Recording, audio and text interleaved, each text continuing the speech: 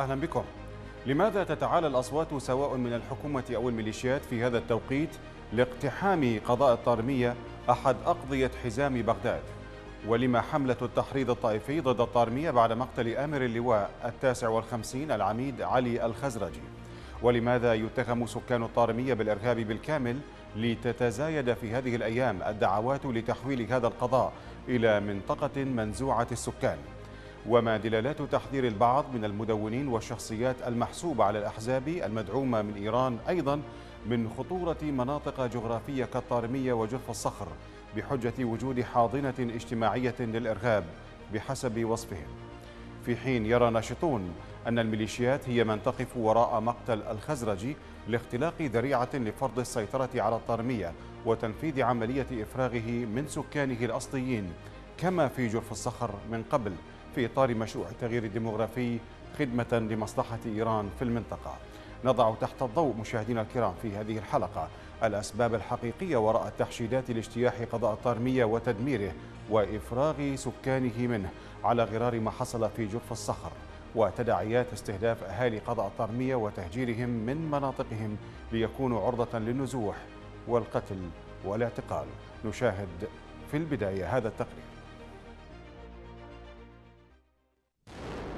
كلما حاولت مناطق حزام بغداد أن تكفكف دمعها مما أصابها من عبث العابثين وتسلط القوات الأمنية عليها أوقدت الميليشيات نار الحرب فيها مرة أخرى. فلا تكاد تلك المناطق لا سيما قضاء الطارمية أن تنعم بالأمان أو تفكر بالاستقرار. فبعد الحصار والمداهمات والاعتقالات التي طالت مدينة الطارمية من قبل أكد مسؤولون عراقيون محليون في المدينة أن حملة اعتقالات عشوائية جديدة نفذتها قوات من الجيش وفصائل مسلحة في مناطق كانت تلك القوات نفسها قد أعلنت تأمينها وتدقيق سكانها أمنيا قبل أيام قليلة. تأتي هذه الحملة بعد الهجوم المسلح الذي قتل فيه العميد علي حميد الخزرجي آمر اللواء التاسع والخمسين. هذا الحادث سبقته حزمة من البيانات والتصريحات التحريضية ضد المدينة ما يجعل أصابع الاتهام تشير إلى تورط الميليشيات في هذه العملية. ولإلصاق تهم الإرهاب بأهالي الطارمية وتبرير عمليات الاستهداف الممنهج دعا النائب السابق حاكم الزاملي إلى تطويق المدينة مطالبا القوات الحكومية بإجراء عمليات قتل واعتقال خلال تلك العمليات. وتعد هذه الحملة هي الثانية من نوعها خلال أقل من شهر واحد والسابعة منذ مطلع العام الحالي. ويتهم السكان ووجهاء قضاء الطارمية الميليشيات بتدبير مقتل الخزرجي بسبب تعاونه مع أهالي القضاء وليكون ذريعة لتهجيرهم على غرار ما حصل في منطقة جرف الصخر جنوب بغداد. القوات الأمنية لا تزال تفرض حظرا للتجول الشامل على قضاء الطارمية وشهدت المروحية العسكرية تحلق في سماء القضاء مع وصول تعزيزات عسكرية تزامنا مع شن حملة دهم واعتقالات واسعة. ما يعانيه أهالي الطارمية من انتهاكات جسيمة دفع بالناشطين على مواقع التواصل الاجتماعي لإطلاق حملة حملت واسم الطارمية أهلنا ردا على الأصوات والأقلام الطائفية التي تحرض على أهل الطارمية. مسؤول في مجلس مدينة الطارمية المحلي قال إن الناس لا تعرف ما تفعل سوى التفكير في النزوح عن المدينة للعيش بكرامة وفقا لتعبيره. استهداف الطارمية يندرج ضمن الحرب الطائفية التي تشنها الميليشيات على سكان مناطق حزام بغداد منذ عدة سنوات كما أنها محاولة مستمرة لتعميم نموذج جرف الصخر على هذا الحزام لإفراغه من سكانه الأصليين. بداية مشاهدينا الكرام مرحب بضيوفي في هذه الحلقة وهم كل من العقيد ركن حاتم الفلاحي الباحث بوحدة الدراسات السياسية والاستراتيجية راسام ينضم معي ضيفي في الاستوديو. أهلا وسهلا. أهلا بك سيادة العقيد ركن. وأرحب أيضا بضيفي عبر سكايب من عمان الأستاذ عبد القادر النايل الكاتب والمحلل السياسي العراقي. أستاذ عبد القادر مرحبا بك. أهلا وسهلا بكم. وأرحب بالأستاذ فراس الطائي الكاتب والصحفي العراقي ينضم معنا من بغداد. أستاذ فراس مرحبا بك. مرحبا بك أهلا وسهلا أخي. أهلا بكم ضيوفي الكرام. أبدأ معك سياده العقيد ركن حاتم الفلاحي. طبعا قضاء الطارميه يستهدف الآن. هناك الكثير من الأصوات تتعالى سواء من المسؤولين الحكوميين أو من قادة الأحزاب والميليشيات أو حتى من الصحفيين المحسوبين على الأحزاب وحتى آه، من الكتاب آه، ومن ضمنهم أحمد عبد السادة أحد القيادات الإعلامية في الحشد الشعبي يتحدث يتحدثون بلهجة تصعيدية تحريضية ضد آه، سكان أهالي الطارمية ويصفون جميع حزام بغداد أو جميع هذه المدن وخاصة جرف الصخر والطارمية أنها الحزام الناسف الذي يلتف حول بغداد ولا بد من استئصاله وإفراغه من سكانه. لماذا الآن في هذا التوقيت تتصاعد هذه الدعوات التحريضية؟ نعم بداية بسم الله الرحمن الرحيم. تحية لك ولمشاهدي قناتكم الكريمة ولضيوفك الكرام. دعني أتكلم عن مدينة الطارمية كمدينة. ما هي الأهمية الاستراتيجية لهذه المدينة؟ مدينة الطارمية تعتبر من المدن الواقعة في شمال بغداد بمسافة ما يقارب 20 كيلومتر. هذه المدينة تكتسب أهمية استراتيجية كبيرة جدا. نتيجة قربها أو موقعها الجغرافي القريب من بغداد إضافة إلى الطبيعة الجغرافية المعقدة التي تمتاز بها هذه المنطقة. فهناك الكثير من البساتين بساتين الفواكه والنخيل وكثير من أحواض السمك في هذه المنطقة.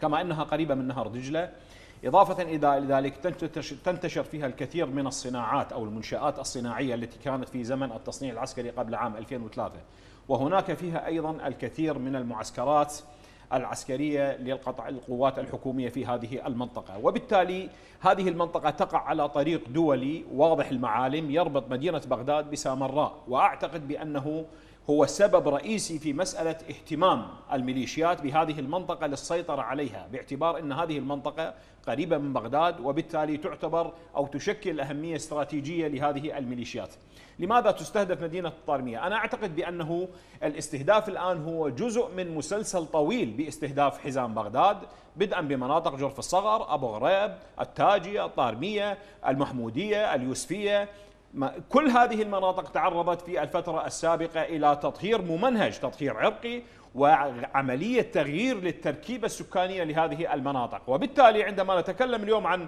عن عن عن مدينة الطارمية نقول بأنه لماذا الحكومة الحالية لا تقوم بإرجاع مناطق جرف الصخر إرجاع النازحين إلى هذه المناطق؟ حتى نقول بأنه ما يجري الآن في الطارمية هي عملية عملية عسكرية لا تأخذ أبعاد طائفية. المشكلة الأخرى عندما نرى حملة التحريض الطائفي والإعلامي تقوم بها شخصيات طائفية معروفة يعني عندما يتكلم قيس الخزعلي زعيم ميليشيا العصائب أو عندما يتكلم الغبان الذي كان وزير داخلية سابق وكان عضو في وهو عضو في منظمة بدر أو عندما يتكلم باقر جبر صولاق وهو أحد منتسبي المجلس الأعلى. يعني جميع الشخصيات التي حرضت على الدخول إلى مناطق الطاربية بما فيهم أحمد عبد السادة هذا الرجل المحسوب على المكتب الإعلامي لميليشيات الحشد الشعبي أو أحمد العيبي أو غيره من, من, من الشخصيات الأخرى المحسوبة على الحشد الشعبي. نرى بأنها دعوات طائفية. هم يريدون إخلاء هذه المنطقة من السكان. يقول يجب أن تكون هذه المناطق مناطق منزوعة السكان. وهناك دعوات الآن من قبل هذه القيادات بأنه يجب أن يعوضون هؤلاء بمساحات من الأرض في مناطق بعيدة عن مناطق بغداد ويجب أن تسلب من عندهم هذه المناطق. يعني هناك سلسلة ممنهجة من من عملية تغيير التركيبة الديموغرافية سواء الجغرافية أو سواء السكانية، يعني عند قبل قبل مدة جاءوا في مناطق المحيطة بمطار بغداد قالوا هناك استثمارات، يجب أن تخلي العشائر التي تقطن هذه المنطقة منذ مئات السنين أو عشرات السنين، يجب أن تخلي هذه المنطقة، هم يحاولون بكل السبل الآن أن يقوموا بعملية تغيير ديموغرافي وإجبار السكان من خلال التضييق نصب السيطرات الابتزاز الاعتقالات التعذيب التهجير الضغط بإطلاق التهديدات القيام بحرق البساتين حرق الفواكه ردم وطمر بحيرات السمك التي يختات عليها آلاف العوائل في, هذه المنطقة. يعني عملية ابتزاز وتصرفات استفزازية طائفية لإجبار أهالي هذه المناطق. على ترك هذه المناطق والذهاب إلى مناطق أخرى.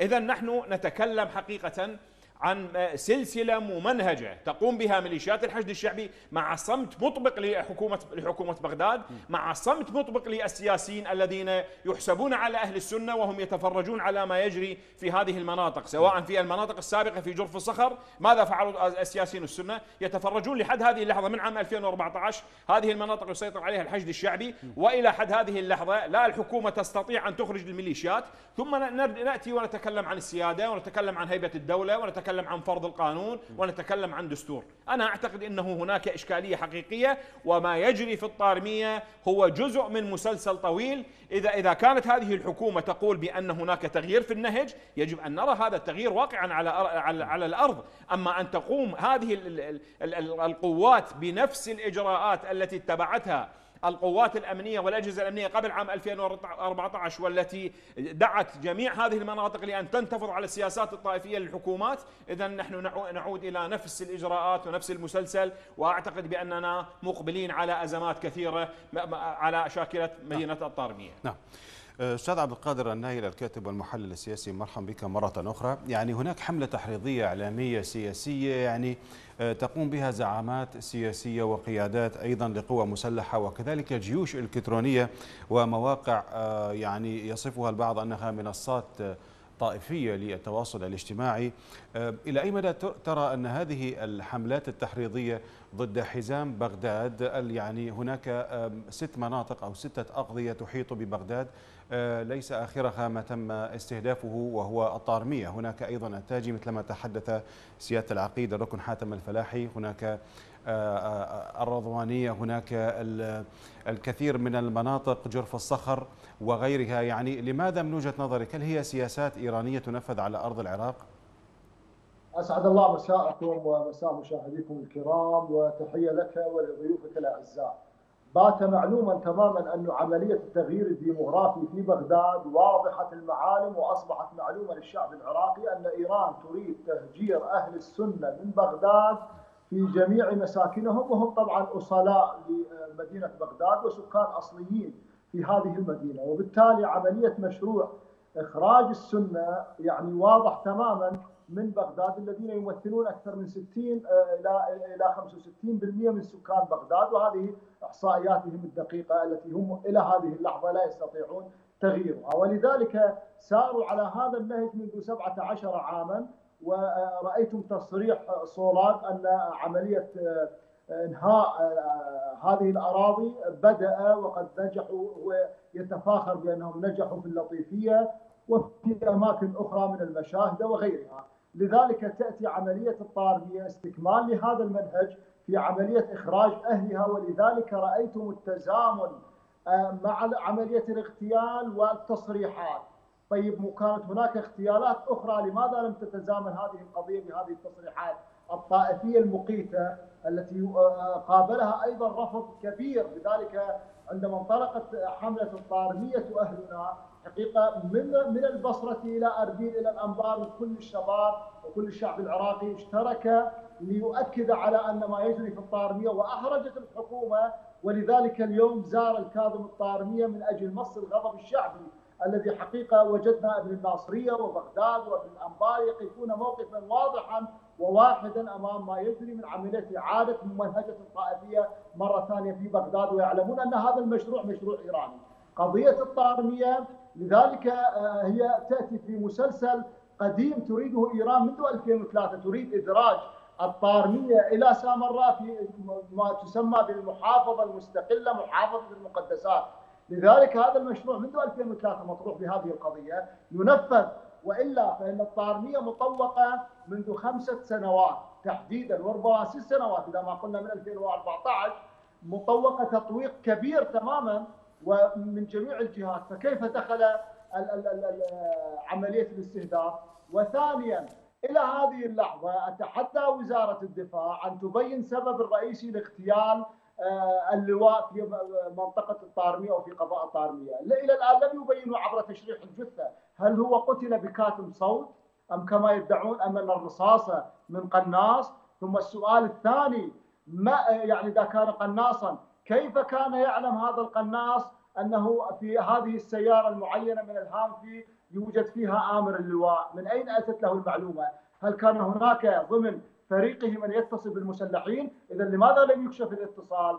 بالتالي عملية يعني مباشرة دفنه من غير تحديد نوع السلاح لأنه هو المفروض ضابط وعسكري المفروض هناك الطبية العسكرية وسيادة العميد آه، يعرفها تماما أن هناك عملية تشريح للجثة العسكرية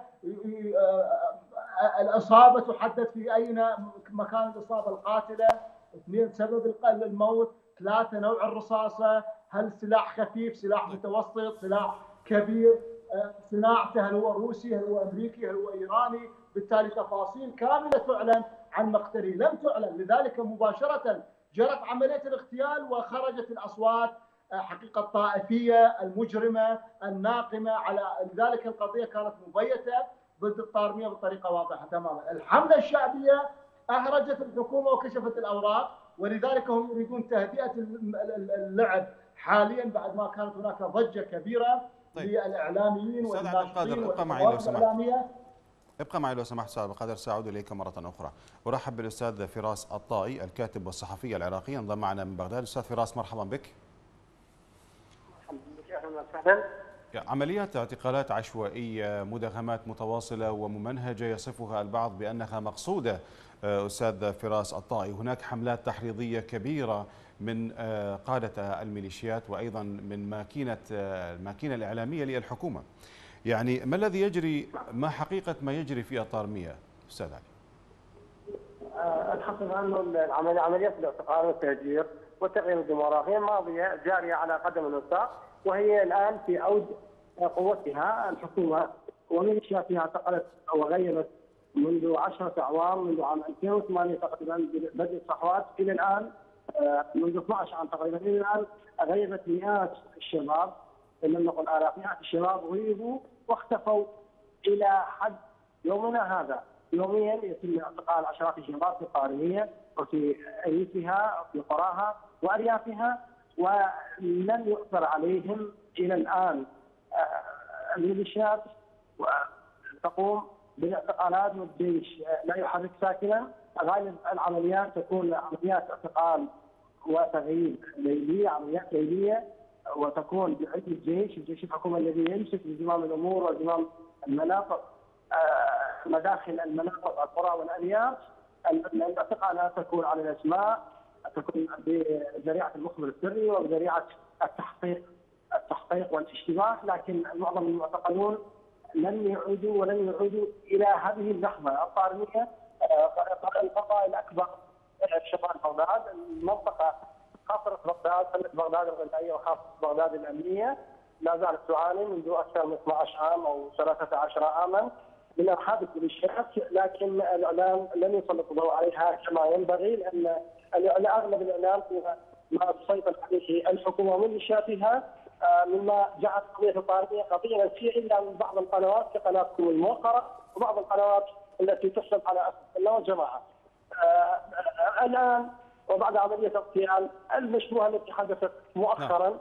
آه، اي وعلى الرغم من من عملية اغتيال التي حدثت خارج الغضاء الا إن أهل الغضاء هم المعاقبون هم الذين فرض عليهم حظر التجوال ومنعوا من التسوق ومنعوا من مزاولة أعمالهم اليوم خامس على التوالي تمنع القوات الحكومية حاله طارئه من الخروج إلى مزارعهم وإلى مساكنهم ولا وظائفهم ولا أعمالهم لمزاولتها وتمنع من الخروج ومن الخروج إلى مدارسهم ومساجدهم. نعم. طبعا الطريق مدينة اشمعان اليوم صباحا زار آه كان آه السيد مصطفى الكاظمي رئيس الوزراء العراقي في الطالبيه في زياره بروتوكولية يبدو أنها جاءت بعد ضغط بعض المسلمين على السنة.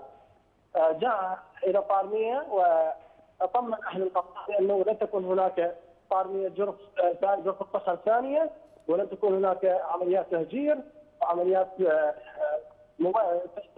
تغير ديموغرافي ممنهجه ولن يكون هناك مما مما من هذا القبيل طيب. الطارميه الآن تعاني منذ خمسة أيام أو أبقى معي أستاذ فراس أبقى معي أستاذ فراس لو نعم. سمحت سأعود إليك مرة أخرى. آه، سيادة العقيد ركن حاتم الفلاحي آه، رد رد ردود فعل الحكومة على ما يجري في الطارميه الآن كيف تقرأها يعني يعني هناك تصريحات كثيرة من القاده في الحكومة قادة في الأحزاب وقادة الميليشيات يعني منهم حاكم الزاملي يقول على القوات الحكومية أن لا تعود إلى آه، من عملياتها في الطارمية دون قتل واعتقال. ورئيس الحكومة يتحدث أنه ليس هناك عمليات تغيير ديموغرافي وعمليات اعتقال وقتل ويطمن أهالي الطارمية. يعني كيف تنظر إلى هذا الأمر؟ نعم هذه أنا أعتقد بأنه الأقوال يجب أن تنطبق على أرض الواقع على على الواقع الذي يجري في هذه المناطق يعني. بداية أنا أقول بأنه هذه الحملة التحريضية ألا يحاسب عليها القانون العراقي؟ لماذا لا يساءل هؤلاء عن عملية التحريض الطائفي التي تجري ضد مناطق الطارمية؟ يعني عندما يخرج المتحدث الرسمي باسم القائد العام للقوات المسلحة يحيى رسول ويقول بأن معركتنا مع الإرهاب هي معركة استخبارية. إذا هناك خلل في الأجهزة الأمنية والعسكرية العراقية في عملية جمع المعلومات الصحيحة. يعني عندما تقوم بعملية تطويق هذه المدن تطوق المداخل والمخارج وتمنع الحركة في الداخل ثم تقوم بعملية آه، آه، تجريف لكثير من البساتين للنخيل والفواكه ثم تقوم بعمليات طمر لكثير من بحيرات الأسماك ثم تقوم بحملة آه، اعتقالات تعسفية على معلومات وبتهم كاذبة وكيدية. ثم بعد ذلك تقول لا يوجد عملية تغيير ديموغرافي. يعني كيف يمكن لنا أن نصدق هذه الكلمات يعني؟ أضف إلى هذا بأنه ما يجري في مدينة الطارمية سبق وأن جرى في مناطق أخرى فلذلك عندما نتكلم نتكلم نحن من واقع مرير. يعني هذه المدينة انطلقت فيها في الفترة الماضية العشرات من العمليات العسكرية لغرض فرض الأمن والاستقرار. يعني في عام, في عام 2017 كانت عملية السيل الجارف. ثم بعد ذلك عملية إرادة النصر. ثم بعد ذلك عملية أبطال العراق. والعمليات مستمرة على هذه المناطق. وكل من يأتي يعني يعني في, في الفترة الماضية تم طمر ما يقارب أكثر من نصف بحيرات الأسماك التي تصل إلى أكثر من 2000 بحيرة في هذه المناطق والتي تعتاش عليها الكثير من العوائل في هذه المناطق. طيب عندما تدخل إلى المناطق الزراعية وتقوم بتجريف الكثير من هذه المناطق هذا عملية تخريب عملية استفزاز لهؤلاء السكان. ثم نأتي ونقول لأنه لا يوجد هناك تغيير ديموغرافي. هذا الكلام لا ينطبق على أرض الواقع كما أنه ما يجري الآن من حكومة الكاظمي حكومة الكاظمي الآن تسير على نفس الخطوات للحكومات السابقة في هذه المناطق. المناطق والدليل على هذا عندما تقول المعركة استخباراتية إذا يجب أن تذهب لجمع المعلومات والأدلة وأن تقوم بعمليات محددة يعني. لا عندما تأتي وتسيطر على عدد من المساجد في المنطقة مثل مسجد اليقين ومسجد الرسول في منطقة العبايشية والمصلحية هذا هذا عملية استفزاز. هذا عملية دعوة دعوة طائفية لإثارة نعرات طائفية في المنطقة. وبالتالي حقيقة هذه المناطق الآن تقع ما بين المطرقة والسندان ما بين العمليات التي يقوم بها تنظيم الدولة وما بين العمليات التي تقوم بها الميليشيات وكل له أهدافه وكل له أجندته في المنطقة. أنا أعتقد بأنه ما يجري هو جزء من مخطط كبير تدعو إليه إيران عملية تفكيك حزام بغداد باعتبار أن هذا الحزام هو حزام تسيطر عليه العشائر السنية وبالتالي يجب أن يفكك هذه الحزام بشتى الطرق. لذلك هناك من يأتي لإجبار السكان بطريقة أو بأخرى على بيع هذه الأراضي وهناك من يأتي من خلال التضييق ومن خلال التهديد ومن خلال إجبارهم على على الخروج من هذه المناطق. ومن يأتي بمسائل الاستثمار ومن يأتي الآن بدعوة يقول يجب إخلاء يجب أن تكون هذه المناطق منطقة خالية من السكان. ما هذه هذه الدعوة ليست طائفية هذه؟ طيب إذا هذه لا تحاسب عليها الحكومة على ماذا تحاسب الحكومة؟ يعني يعني هذه الأقوال التي يطلقونها السياسيين لا قيمة لها، نحن نريد أقوال على الأرض تنفذ، أنت تأتي إلى منطقة طوق هذه المنطقة وفتش تفتيش اعتيادي بحضور بحضور الأجهزة الأمنية وبحضور ممثلين من هذه المناطق، ممثلين عشائريين، ممثل طيب لماذا لا يتم تشكيل قوة من هذه المنطقة لحفظ المنطقة على غرار المناطق الأخرى المتواجد فيها؟ لماذا ترفض الحكومة هذه الدعوات؟ لماذا تأتي هذه الميليشيات لكي تسيطر على هذه المناطق؟ أنا أعتقد بأنه هناك إشكالية كبيرة جدا ما بين ما تعلنه الحكومة وأجهزتها الأمنية وما بين من يطبق على على الأرض، الجميع يعرف بأنه من يسيطر على الأرض هو ليست الأجهزة الحكومية كالجيش وبقية الأجهزة وإنما من يسيطر على زمام الأمور. هذه الميليشيات التابعة لإيران التي تنفذ مخطط ليس في في في مناطق بغداد فقط وإنما في مناطق كثيرة من العراق لإجراء تغيير ديموغرافي واضح المعالم سواء كان في مدينة بغداد لأنها تعتبر هذا الحزام هو مهدد للنظام السياسي الحاكم في العراق وهناك توصية إيرانية بأنه يجب تفكيك هذا الحزام. نعم. أستاذ عبد القادر كيف تنظر إلى هذه الإشكالية يعني التي موضوعها أن هناك تناقض فيما يجري على الأرض وما بين التصريحات الحكومية عندما يتحدث رئيس الحكومة عن أنه لا توجد هناك عمليات تغيير ديموغرافي ولا عمليات اعتقال في حين أن قادة الميليشيات والتحريض الطائفي إعلاميا واضح وبشكل علني يعني من المؤكد تماما تندرج هذه التصريحات التصريحات الحكومية ضمن ذر الرماد في العيون.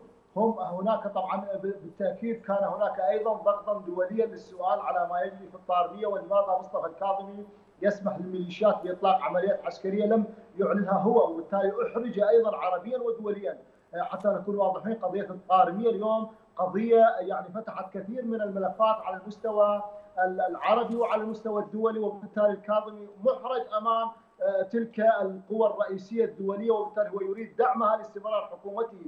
فتأتي تصريحاته الخجولة هو لذر الرماد في العيون أن ليس هناك تغييرا ديموغرافيا طيب. الاعتقالات الموجودة وعملية التصريحات لماذا لم يعتقل الكاظمي مطلقي ومروجي عملية نزع سكان الطارمية على غرار جرف الصخر وهم يعلنون لها علانية؟ أليس هذا يندرج ضمن التطهير العرقي وضمن حتى قوانين مكافحة الإرهاب سيئة الصيت الذين يعملون فيها في جهاز الإرهاب لماذا لم يلقي القبض عليهم؟ لو كان العكس من أهل الأنبار أو من الطارميه أو من الموصل أطلق أن قال أن على مدينة الصدر ينبغي أن تكون منزوعة السلاح منزوعة السكان لحين إخراج جثث المغدورين من حزام بغداد في بحيرة كسرى وعطش. لا أليس هذا كافيا لاعتقالها وإعدامه؟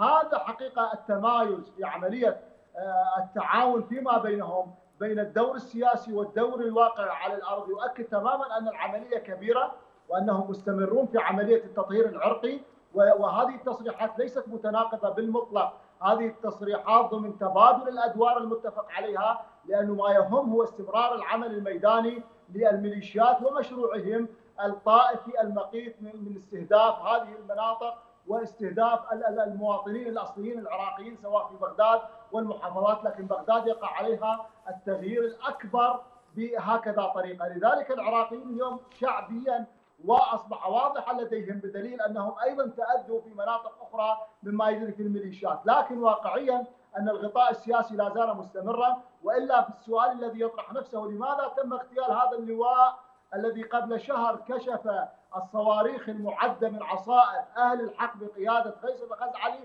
إلى مطار بغداد، لماذا هو تحديدا تم اغتياله؟ ثانيا لماذا إذا كان لم يكن هناك تطهيرا طائفيا، لماذا لم يسحب الكاظم اليوم ميليشيات الحشد من العصائب والجباء وحزب الله من الطارمية؟ وحتى الجيش المختلف عليه والذي هو بنيته ليست حقيقية لكن أقل تقدير هو يعلن انسحاب هذه الميليشيات من الطارمية، لماذا أبقاها وبالتالي استخدمت الميليشيات أيضا تعزيزات آه، وقدرات عسكرية داخل هذا القضاء، هل هو أعلن ذلك؟ وبالتأكيد هو القائد العام للقوات المسلحة كما يصنف الآن، لذلك حقيقة هؤلاء يريدون تغيير المجتمع الدولي تغرير الإعلام حتى يتم حقيقة ذبح الطارميه من الوريد إلى الوريد عبر الخفاء وعبر الليل لأنهم غادرون بهذه الطريقة. نعم. شكرا لك. أستاذ فراس الطائي عسكرة المجتمع من الداخل يعني تخويف المجتمع العراقي آه، تخويف طائفة من طائفية تخويف فرقة من فرقة أو قومية من قومية. وهذا الأمر هو آه، منذ عام 2003 وحتى وحتى الآن هو أسلوب متبع من قبل آه، من يحكم في العراق. هناك الأهالي في ظل هذا الضغط المتواصل من عمليات الاعتقالات وعمليات الدهم المتواصل في قضاء الطارمية كيف يعني تكون أو كانت ردود أفعال الأهالي؟ هل هم مضطرون إلى النزوح من هذه المناطق حتى يحفظوا آه، كرامتهم مثل ما تحدث الكثير من شهود العيان على هذه العمليات؟ آه، بعض بعض الأهالي فكروا بالنزوح لكن الطرق آه، مسدوده مغلقة أمامهم. الكثير من العوائل في الأشهر السابقة الماضية الثلاثة أو أربع أشهر الماضية انتقلت إلى شمال العراق وإلى بغداد استاجرت بيوت في بغداد. للخلاص من الوضع الغير آمن في الطارمية وعدم احترام عدم احترام القوات الأمنية لأهالي القضاء في ندره طائفية واضحة. الحملة التي تواجهها الطارمية هي حملة تنم عن عقدة النقص لدى الطرف المقابل وعن الدونية وهي وعن الحسد والغل هو موضوع حسد وغل من أهالي القضاء، أهل القضاء يعانون منذ خمسة أو ثلاثة عشر عاما من حرب نفسية أما الآن أصبحت هي حرب وجودية، حرب وجودية يريدون أن يستنسخوا تجربة جرف الصخر في طارمية لكن هناك الفرق شاسع. طارمية مدينة تحتوي على ثلاثة نواحي ومركز قضاء 400 ألف نسمة. آه، جرف الصخر مع اعتزازنا بأهلنا هناك. جرف الصخر لا لا يتجاوز سكانها 75 ألف. منطقة الطارمية منطقة تربط أربع محافظات ببعضها محافظة بغداد بصلاح الدين والأنبار بديانة هي منطقة وسط ومنطقة جغرافية كما قال ضيفكم في الاستوديو الأهالي يفكرون غالبا بأنهم لن أغلب الأهالي لن لن يخذلوا الطارمية ولن يخذلوا منازلهم وبيوتهم ولن يخرجوا إلا على جثثهم. آه الأهالي معتزون بأراضيهم الزراعية وببساتينهم وبحقولهم وبمواشيهم آه رغم الإرهاب الذي تمارسه ميليشيات الحكومة التي تمسك بزمام الأمور هنا أما الجيش فهو آه مجرد واجهة ومجرد يمسك بأطراف ومداخل المناطق. الميليشيات ميليشيات العصابة وميليشيات حزب الله وكتائب الرساليون وكتائب النجباء هي من تبتز المواطنين وتبتز أصحاب الشركات وأصحاب البحيرات وأصحاب المعامل معامل الأعلاف وغيرها. الحرب نفسية والحرب اقتصادية والحرب أصبحت الآن حرب وجود حرب أما بقاء في القضاء وأما تهجير قسري ومصادرة أملاك وأراضي. الناس هناك الناس أغلب الناس يقاومون هذه الحملة الآن طيب. ويواجهون الحملة منذ 13 عاما وبإذن الله لن يخرجوا إلا على جثثهم كما نعم. يقولون. نعم أستاذ فراس. ابقى معي أستاذ فراس في هذه النقطة يعني هناك حرب نفسية كبيرة، هناك حرب اقتصادية، هناك حرب تتعدى إلى حرب وجودية، يعني هم يريدون أن يمحون سكان أهالي الطارمية من الخارطة. ترى يعني هناك من يسأل ما هي المصلحة الإيرانية؟ إذا كانت المصلحة إقليمية أو مصلحة إيرانية ماذا تستفيد من يعني تستفيد إيران من عملية تنفيذ مشروع التغيير الديمغرافي وإفراغ سكان أقضية حزام بغداد؟ نعم بداية دعني أقول بأنه منطقة الطارمية تعتبر سلة غذائية لمدينة بغداد. هذه المنطقة منطقة زراعية بامتياز يعني قريبة من النهر وفيها كثير من البساتين وما إلى ذلك.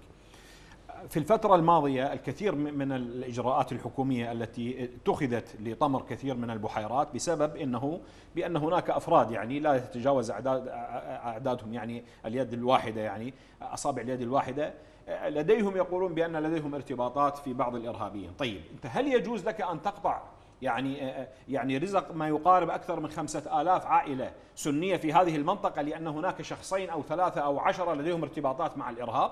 هاي إشكالية كبيرة جدا. طيب أنت عندما تقوم بهذه الإجراءات ما هي البدائل التي يجب أن توفرها لهذه المناطق؟ يعني الآن من السهل على أي منطقة تريد أن تدخلها الميليشيات؟ بأنه يقولون هناك خلايا نائمة. ولكن عندما نأتي إلى المنطقة نرى بأن الأجهزة الأمنية والعسكرية تسيطر سيطرة كاملة على هذه المنطقة. مداخل السيطرات بأيديهم. هناك سيطرات متنقلة في كثير من المناطق بأيديهم. هناك ميليشيات تنتشر بشكل كبير جدا على هذه المنطقة. ثم عندما يكون هناك خلل أمني يحاسب المواطن لأنه كان هناك خلل في منطقة معينة. هناك إشكالية حقيقة في هذه القضية يعني. يعني هناك من يقول في أحد التصريحات يقول بأن هناك تواطؤ ما بين السكان وما بين الإرهاب. هذه إشكالية كبيرة جدا يعني عندما تتهم منطقة كاملة بالتواطؤ مع مع الإرهاب إذا لديك أنت لديك نوايا أخرى. يعني ليس مسألة مواجهة الإرهابيين وما إلى ذلك من كلام الذي يمكن أن يسوق في في, في هذه الفترة. أضف إلى هذا بأنه عندما نتكلم عن عن عن عن الإجراءات التي تتخذها القوات الحكومية في في مناطق الطارمية أو في مناطق كثيرة أخرى نجد بأن هناك ازدواجية في المعايير في التعامل مع هذه المناطق مقارنة بمناطق أخرى، يعني أنت تأتي إلى منطقة بتهم كيدية وكاذبة وغير صحيحة تقوم باعتقال العشرات من الشباب، ثم أنت تمسك خلايا معها صواريخ كاتيوشا تقوم بإطلاق سراحهم، ثم بعد ذلك تتكلم لي عن العدالة وتتكلم لي عن القانون وعن هيبة الدولة، هناك إشكالية حقيقية بأنه من يدير الدولة وما هي الأجندة التي تنفذ، طبعا إيران عندما تريد أن تقوم بعملية إجراء التغيير الديموغرافي في هذه المناطق لأنها ترى بأنها هذه المناطق طالما إنها هي التي تسيطر على مداخل ومخارج بغداد اذا بالتالي يمكن أن تهدد النظام السياسي الحاكم في العراق وبالتالي يجب أن يفكك هذا الحزام بشتى الطرق. كما أضف إلى هذا بأنه منطقة الطارمية تقع على طريق بغداد سامراء وبالتالي هناك مراقد عسكرية يجب تأمينها. إذا هناك مصلحة إيرانية في مسألة تأمين هذا الطريق الذي يربط ما بين بغداد وما بين مدينة سامراء حتى وإن كان على حساب هذه المناطق.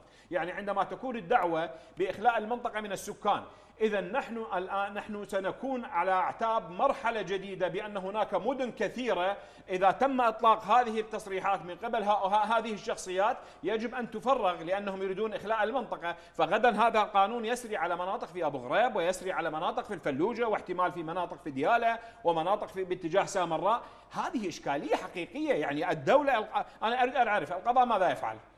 الذي تمسكون معه صواريخ كاتيوشا لا يحاسب. الذي لديه ارتباطات بأجندة خارجية وهو تبع لإيران لا يحاسب. والذي يجلس في بيته تأتي إليه القوات الأمنية لتقوم بعملية مداهمات وتوقع عليه التهم الكيبية ثم يقومون باعتقاله وإخفائه ولا نعرف مصيرهم لحد هذه اللحظة. هذه إشكالية. ثم يأتي يقول لك آه، نحن نتعامل بحيادية ولا توجد عملية تطهير عرقي ولا يوجد عملية آه، تغيير سكاني لهذه المناطق. هذه الأقوال لا تنطبق على أرض الواقع. يعني هناك حقيقة واقعة على أرض الواقع يجب أن تنتبه إليها الحكومة خصوصا وأنها تقول بأنها هذه الحكومة تريد أن تختلف عن الحكومات السابقة. ولكنني أرى بأن هذه الحكومة هي شريكة في جميع الجرائم التي ترتكب الآن سواء كانت في مناطق الطارمية أو في مناطق أخرى لأنها تسير على نفس النهج الذي سارت عليه الحكومات السابقة وهي تقوم حقيقة بالتواطؤ مع هذه الميليشيات لارتكاب مثل هذه الجرائم. يعني عندما يتكلم الأخ الزميل من بغداد ويقول بأنها حرب اقتصادية نعم حرب اقتصادية حقيقية. عندما تقوم أنت بتجريف هذه المحاصيل الزراعية التي يتعب عليها الفلاح لسنة كاملة ثم تأتي بتجريفها بهذه السهولة وتقوم بتجريف البساتين وطمر حقول السمك وما إلى ذلك إذا هناك إشكالية حقيقية كيف تعيش هذه المناطق؟ أنت تريد تهجيرهم بالقصر أو بالابتزاز أو بالتضييق أو بالتعذيب أو هذه الممارسات الطائفية. وثم يأتي يقول لك لا توجد ممارسات طائفية.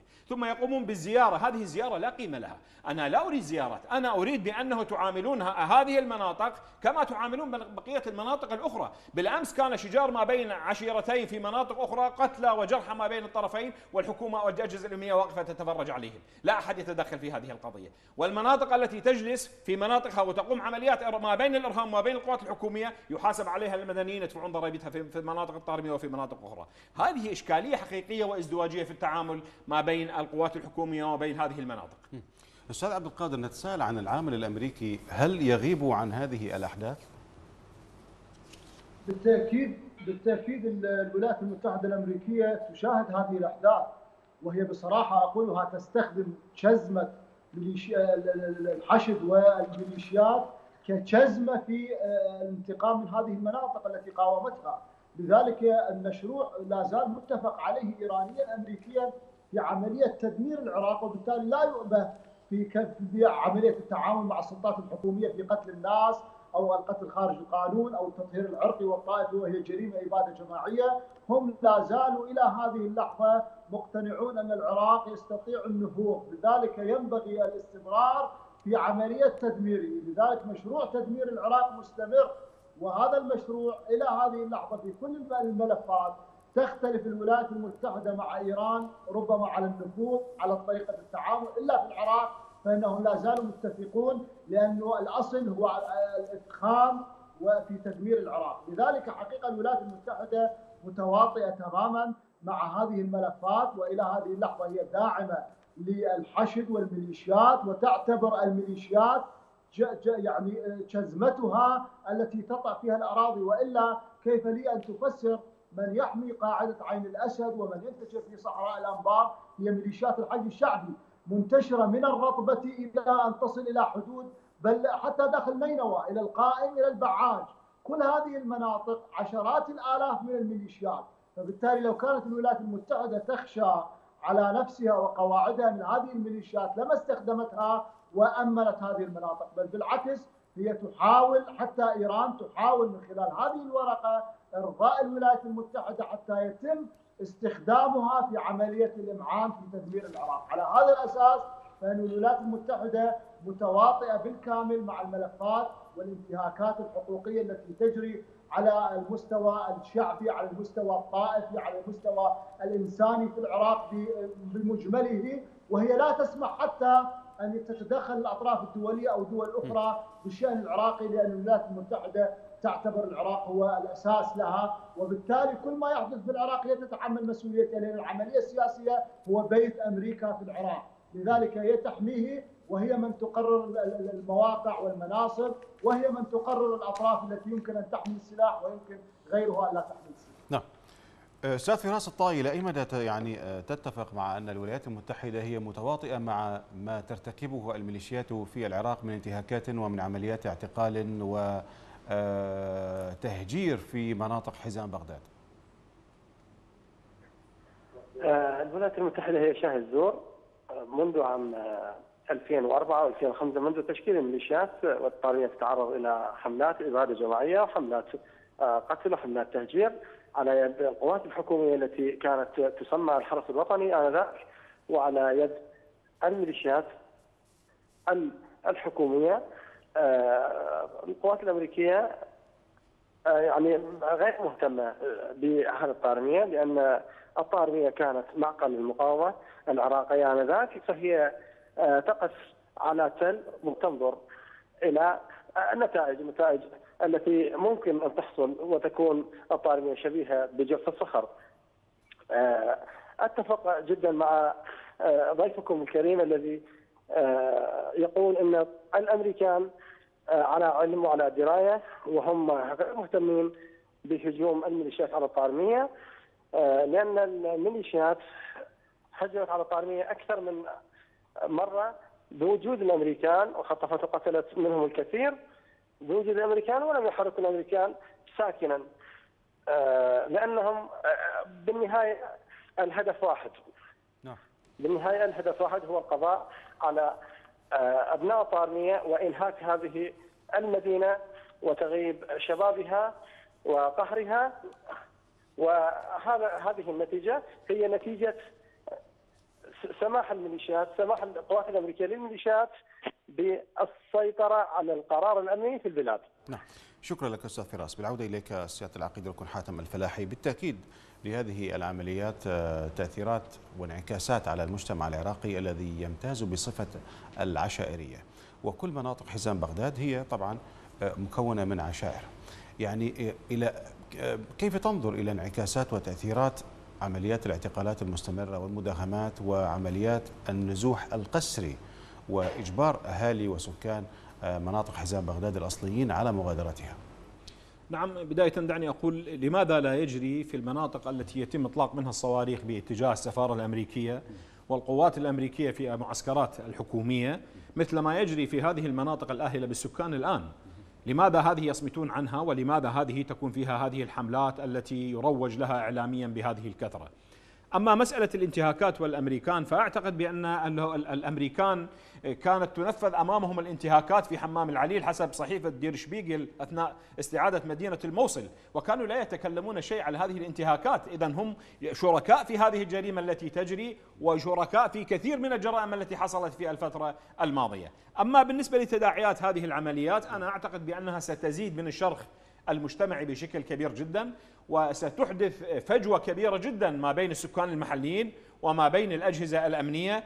وهذا أيضا سيسبب إشكال كبير جدا في أنها ستؤسس لمنطقة غير آمنة وغير مستقرة حقيقة يعني. وهذا ما تريده القوى السياسية والميليشيات المسلحة. هم يريدون لهذه المنطقة أن تبقى غير آمنة غير مستقرة لكي تستهدف باستمرار إلى أن تصل الكثير من العوائل إلى قناعة بأن البقاء في هذه المنطقة قد يهدد حياتهم بالخطر. فيجب أن يتركوا هذه المناطق وأن يذهبوا إلى مناطق أكثر أمنا لهم في الفترة القادمة. وبهذا تجري عملية التغيير الديمغرافي سواء آه، آه، بصورة يعني سلسة بالنسبة لهم وضمن مخطط يجري لهذا الغرض. إذا كانت الحكومة جادة في هذه المسألة فأولا هؤلاء الشباب الذين تم اقتيادهم أو تم اعتقالهم خلال هذه الفترة يجب أن يطلق سراحهم بشكل كامل. المسألة الأخرى يجب أن يكون هناك تعاون ما بين الشخصيات المهمة العشائرية في هذه المناطق وأن تمسك بقوة من قبل هذه المناطق وأن لا يتم استهداف المناطق من خلال خلل أمني يتحمله شخص أو شخصين في منطقة معينة. ويجب أن لا يعاقب الكل بعقوبات جماعية كما يجري الآن بإغلاق المداخل والمخارج ومنع الحركة في الداخل والقيام بالتجريف وما إلى ذلك من أمور لأن هذه الممارسات ستعود بأزمات سلبية على الحكومة لأنها سياسات طائفية لن تؤدي إلى استقرار البلد والسيطرة على هذه المناطق. بل على العكس أنا أعتقد بأن هذه الممارسات ستزيد بشكل كبير جدا من عدم الاستقرار وتؤسس لفترة قادمة قد تكون أشد على على الحكومة من هذه الفترة التي تمر بها بالنسبة لزيادة العمليات وما إلى ذلك من من أمور. يعني آه، تتوقع أن تستمر عمليات الاعتقالات تستمر عمليات الممنهجة لتكثيف النزوح وعمليات النزوح خارج حزام بغداد؟ أكيد طالما أنه القرار السياسي مصادر والقرار الأمني مصادر من قبل ميليشيات هي من تتحكم في المشهد وهي من تقود الأمور. أنا أعتقد بأن هذه القضايا ستستمر وستتنقل من منطقة إلى أخرى حسب المخطط الذي ترمي إليه هذه الميليشيات.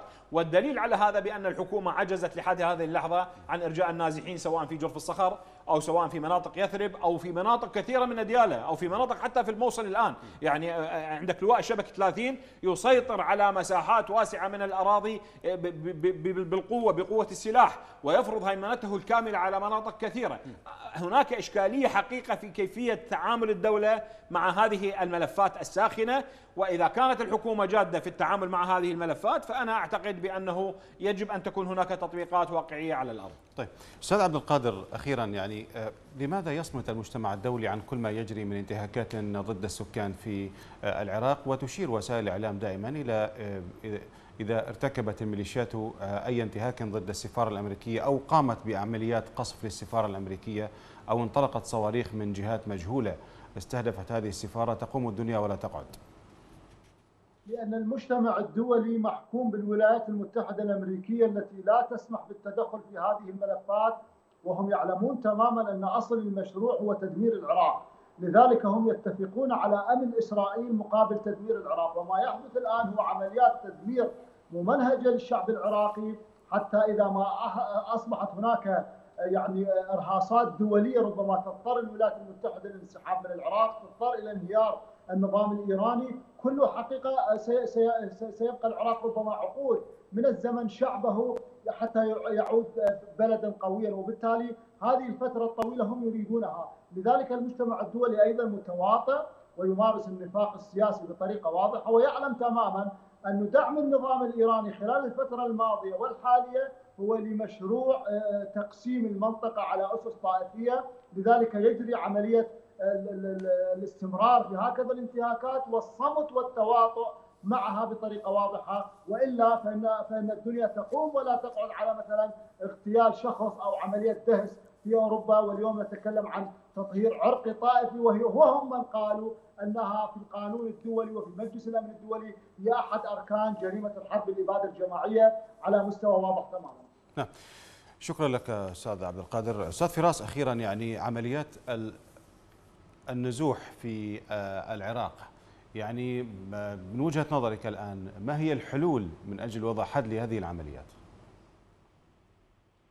والله آه، يجب على الحكومة محاسبة الميليشيات التي تسيطر على المناطق المناطق التي كانت تعاني ولا زالت من هجرة أهلها منها وخروجهم قسريا كجرف الصخر وكما ضاف كما تفضل ضيفكم أهالي منطقة الحمدانية أو سهل نينوى مناطق جرف الصخر وأطرافها ومناطق التي تقع إلى جنوب من صلاح الدين مناطق يثرب ومناطق العجيلية ومناطق الجراغون التي تقع قرب جسر السيديه المناطق التي تسيطر عليها عليها آه، عصائب أهل الحق. طبعا على رئيس الوزراء ان يتدخل للضغط على الميليشيات التي التي تسيطر على هذه المناطق لإرجاع أهلها إليها واستتباب الأمن إذا أراد رئيس الوزراء مصطفى الكاظمي إنهاء حالة العنف وحالة اللا دوله الموجودة عليه الضغط على الميليشيات التي تنضوي تحت آه، الحشد الشعبي طيب. وهو رئيس الوزراء والقائد العام للقوات المسلحة عليه الضغط على هذه الميليشيات التي تشكلت بفتوى 2014 عليه نشكرك. شكرا جزيلا أستاذ فراس. في أقل من دقيقة سيادة العقيد ركن مؤسسة أمريكية الكاظمي تقول إنه عاجز عن الضغط على الميليشيات فيما تحدث الأستاذ عبد القادر النايل أن الكاظمي هو متواطئ مع هذه الميليشيات وكذلك كسلسلة متواصلة من الولايات المتحدة الأمريكية والحكومات المتعاقبة وجاء ليكملها رئيس الحكومة الحالي. الآن الحلول أمام الخلاص من عمليات التهجير والاعتقال وعمليات النزوح. العملية السياسية لم تقدم شيئا للعراق سوى هذا الخراب والدمار. ما هي الحلول من وجهة نظرك؟ نعم بداية دعني أقول طالما قبل الكاظمي بأن يكون رئيسا للوزراء فهو يتحمل المسؤولية عن كل ما يجري الآن في العراق. وبالتالي هو غير قادر على فرض السيطرة في مدينة بغداد. فكيف له أن يقوم بفرض السيطرة على منافذ حدودية وما إلى ذلك؟ أنا أعتقد بأنها ضجة إحلامية كبيرة لا قيمة لها. ولكني أود أن أقول بأنه لا حلول الآن طالما أن القرار السياسي مصادر والقرار الأمني غير مفعل بشكل كبير جدا. كما أقول بأنه ما يجري يتحمله السياسيين السنة الذين دخلوا لجلب المصلحة ودفع المفسدة. لا هم جلبوا مصالح لمناطق أهل السنة ولا دفعوا أي مفسدة عنهم. وبالتالي كانوا أداة طيعة. بيد الكثير من الجهات التابعة لإيران لتنفيذ أجندة في كثير من مناطق أهل السنة. فهم يتحملون المسؤولية الكاملة عما يجري في مناطق أهل السنة وهم سبب رئيسي فيما يجري في هذه المناطق من انتهاكات ويجب أن يحاسبوا كما يحاسب الطائفيين من القوى المسلحة ومن, ومن السياسيين الطائفيين من, الجهات الأخرى التي تدفع باتجاه التحريض الطائفي لأنهم وقفوا يتفرجون على كيفية مداهمة هذه المناطق واستباحتها واستباحة مقدساتهم دون أن يحركوا ساكنا سواء كان مع الحكومة أو حتى مع الأجهزة الأمنية التي تسيطر على هذه المناطق. لذلك أنا أقول بأنه لا حلول موجودة حاليا في هذه المنطقة في هذه المناطق حقيقة. وهذا التصعيد وهذا ما يجري الآن من عملية تغيير ديموغرافي وتغيير سكاني في هذه المناطق تتحمله حكومة الكاظمي بشكل كامل وتتحمله الجهات السياسية الدافعة لهذا التحريض الطائفي على هذه المناطق. في ختام هذه الحلقة أشكر سيادة العقيد ركن حاتم الفلاحي باحث بوحدة الدراسات السياسية والاستراتيجية راسام. شكرا جزيلا لك. وشكرا جزيلا لك أستاذ عبد القادر النايل الكاتب والمحلل السياسي. كنت معنا من عمان عبر سكايب. شكرا لك. وأشكرك شكرا جزيلا أستاذ فراس الطاهي الكاتب والصحفي العراقي. كنت معنا من بغداد عبر الهاتف. في الختام مشاهدينا الكرام تقبلوا مني أطيب تحية وإلى اللقاء.